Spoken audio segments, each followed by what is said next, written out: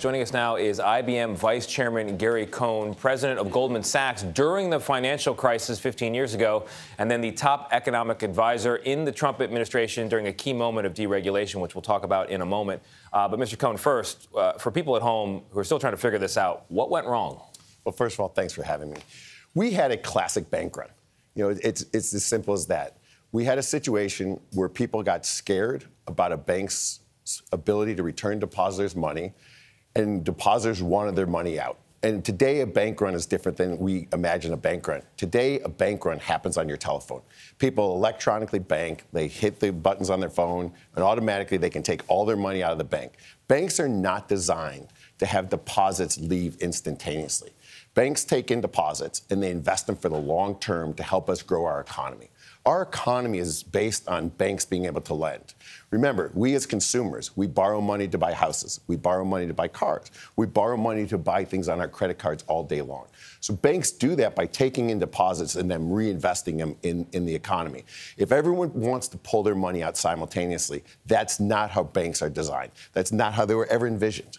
So banks reinvest in the economy by providing loans, but they also make investments of their own. And in 2018, uh, with the backing of the Trump administration and bipartisan support in Congress, there was a loosening of the rules for small and regional banks, banks with under 250 billion in assets.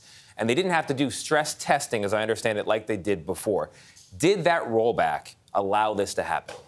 No, it didn't. So, so at the end of the day, what happened here had nothing to do with the bank's capital. These banks had enormous amount of capital, and capital is the ability to absorb loss. So nothing that was done in 2018 would have affected the outcome here. What affected the outcome here is the fact that no bank holds enough cash that when all the depositors want their money back simultaneously, they don't have it. There's a ratio where banks are obligated to carry a, a, a certain amount of liquidity. All of these banks have had high liquidity ratios, but that really doesn't matter when you have a technical run on a bank.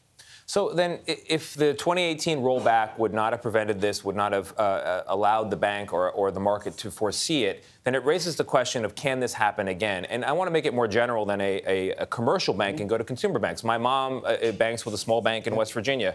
How can regular people look at their banks and figure out whether this is going to happen? And I know they're insured, but it's still a big inconvenience if you can't access your money. Well, this is why we have FDIC insurance.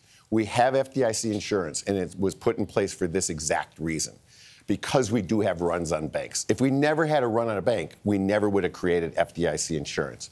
The reason FDIC insurance was created is to protect your mom and, and my dad, to make them feel comfortable to leave their money in a bank knowing it's secure because a government agency is providing the insurance that they need to make sure their deposits are there when they want them. And the process is working. So deposits are insured in this country. They have been insured up to $250,000. What the government did over the weekend, and they stepped in, is they removed the cap. They said for the next year, we're going to insure all deposits up to any number. So people today should feel fairly secure to where they are. All right, Gary Cohn, you know the tech sector, you know the finance sector, and you know it from a political point of view. So thank you very much for being here. Thanks for having me.